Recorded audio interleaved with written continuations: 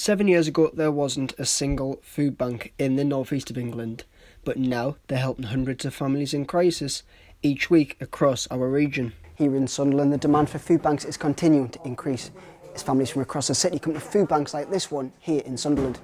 I've come along to one Sunderland food bank to find out exactly what goes on. I've got some jam, some, mm-hmm. like, some chocolate, some cake. The food bank at City Life Church in Sunderland has been going for just under a year but packing food parcels for vulnerable families is becoming a regular occurrence for these volunteers. Last year, 1,332,952 free day food parcels were handed out to people in crisis across the UK. But with jobs becoming harder to come by, things will only get worse. The whole point of what we do is to get food to the most deprived people in the city. Um, so we're a crisis intervention service. We give out three-day food parcels um, for people who are struggling for some sort of reason. Um, they've got themselves an emergency, and that could be any of us. Um, we're all two pay slips away from a food bank, and we work with over 60 official referral agencies.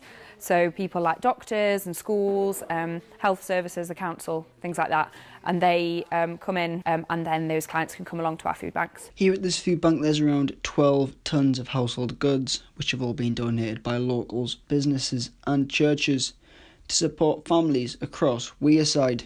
Between January 2017 and January 2018, 64,209 three day food parcels were handed out to families over the northeast of England, with a further 22,981 food parcels being handed out between April and September 2018. The main reasons that people come to use the food banks is um, low income benefit changes or benefit delays.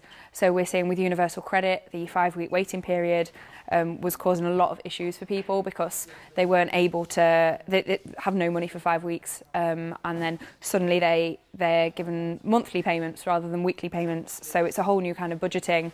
So we've see, we're seeing people struggle with universal credit. But more and more we're seeing low income families um, struggling to make ends meet because maybe mum or dad's on a zero hour contract, um, so they don't get work that week, so they don't get paid that week. Um, and as a result, people are coming to use food banks more and more. But these food banks in Sunderland couldn't run without the 60 volunteers who spend their days and nights at food banks across Sunderland, making sure families get all the goods they need. Just to see that we're helping people is a massive, massive plus. You know, we have people from all different walks of life. There isn't one particular person that comes to a food bank. And so we have found that in even the, the few months that we have been operating, we've found that we are serving people in the community.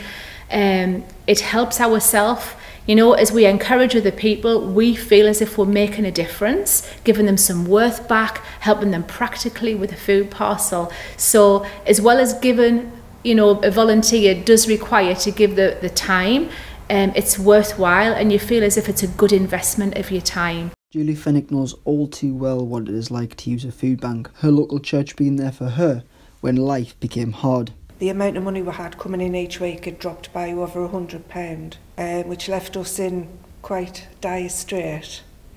Uh, still two young boys living at home, and it got to the point where we'd had our last meal on a Sunday after we'd been to worship, and it was um, pie and rice, and that was it.